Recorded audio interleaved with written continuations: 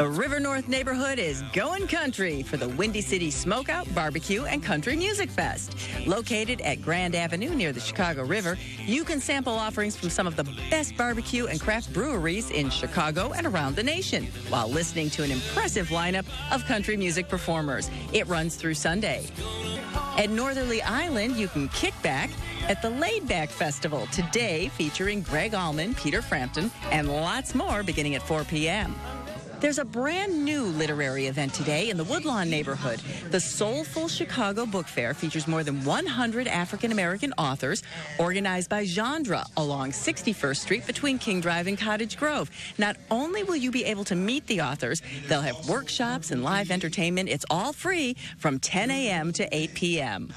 You can still register for Sunday's Chicago Rock and Roll Half Marathon in person Friday or Saturday, or just come out and cheer on the runners and listen to some great live music along the way. More than 18,000 runners will step off at 6:30 Sunday morning from Grant Park, winding their way through the loop and along the lakefront. More than a dozen live bands will be performing along the course.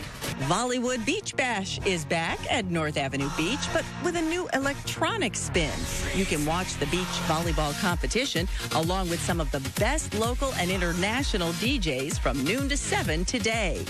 Everyone loves Legos, so the Museum of Science and Industry is hosting an adults only evening event tonight called Brick Bash. It will feature food, drinks, Lego nostalgia, and exclusive access to the Brick by Brick exhibit. It's from 7 to 10 p.m.